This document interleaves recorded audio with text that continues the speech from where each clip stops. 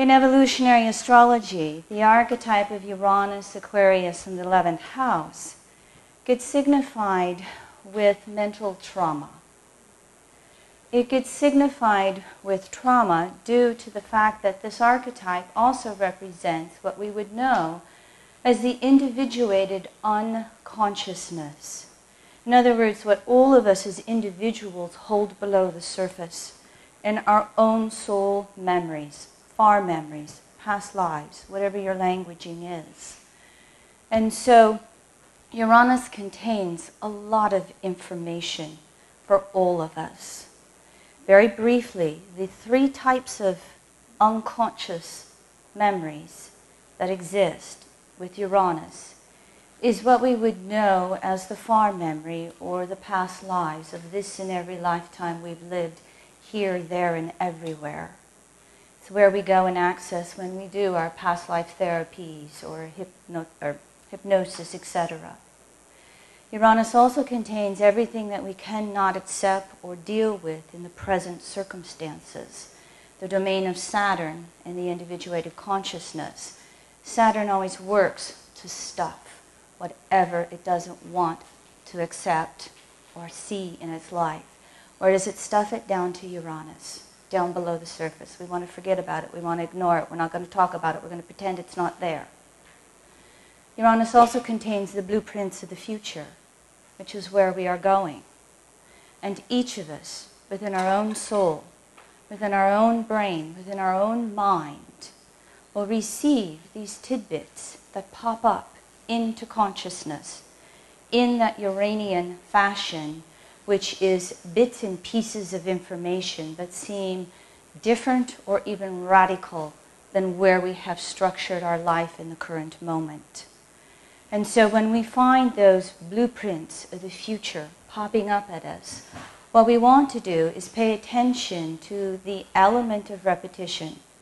The more it comes up, driving your car, doing your dishes, as I like to say, the more it comes up, the more you better pay attention. And it doesn't matter how radical it is or how different it is from the present Saturnian moment. You need to move in that direction if it keeps coming up, because if you don't, then you get what you call those Uranian upsets that come back at you as shocks and traumas. We've all been there. We've all experienced that. Well, as we are working with Uranus leaving Pisces and entering Aries, we're starting a brand new Uranian cycle.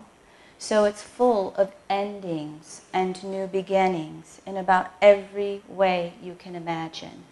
Bless Jupiter, Okay, Jupiter, the ability to put our life together and understand it on a conscious level, our individualized belief systems, philosophies, how we look at life.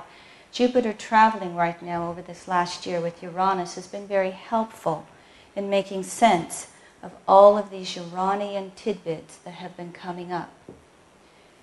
I'm going to work through, oh, and that reminds me, there is a suitcase back there by the guy in the yellow shirt. I have, I have a one page handout. Um, basically, it's a listing of the dates of all of the. Would you go? Yeah, um, it's in one of the front flaps of the black suitcase. And it's got um, the Uranus dates of all the different Uranus generations. I thought it might be helpful if we would, if you had that for reference while we were looking through this.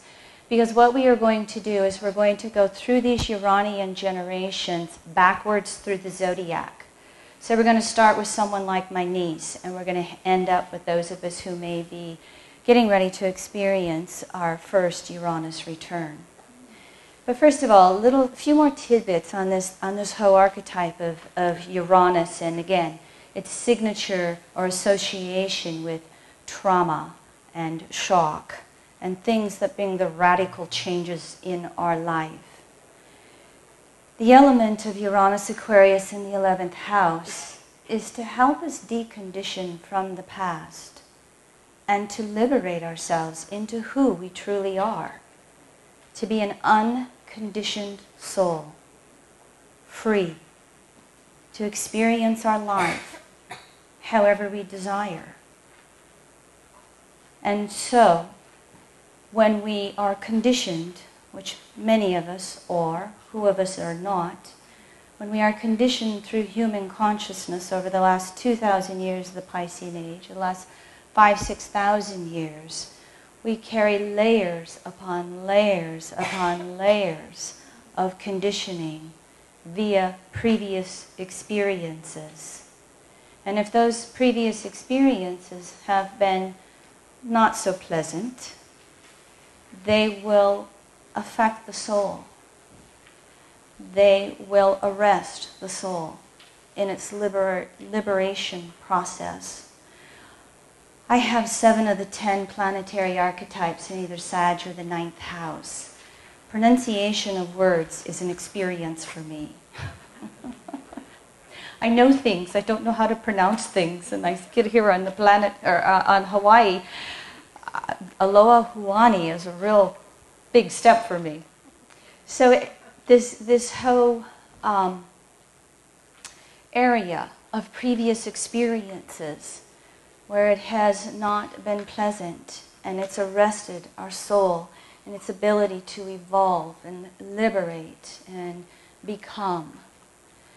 That area is trauma. And when we stuff it below the surface via Saturn, or it's there because of past lives, it has a tendency to operate unconsciously in triggering behaviors, triggering um, psychoses and neuroses and all of those happy little words that you hear about in your therapeutic fields. But if you then will look at where you have Uranus natally, by house and sign, that's going to be some of your biggest clues. You can also look to where you have Aquarius on a house cusp, you can look to planets in the 11th house. You can look to any aspects that interact with Uranus, Aquarius, 11th house planets, etc. All of that put together then starts to give you your own path for understanding where you carry this trauma within your soul. And so Uranus here, as it has been moving through Pisces over the last seven years, Pisces being the domain of Neptune in the 12th house, that barrier between what's unconscious and what wants to come up and be revealed has been thinning. Thinning, thinning. Meaning all of us have found that these memories are coming up one way or another. Uranus in Pisces either through our dream world, Uranus in Pisces through any of our spiritual processes that we go through to open things up. But it's opening up for us whether we want to go there or not. And as we look at Neptune coming into Pisces over the next 14 years, get ready for even more. So I'm looking at this play between Uranus in Aries and Neptune in Pisces as just being, for the most part, a real opportune time to break free, to grow, to be who we want to be.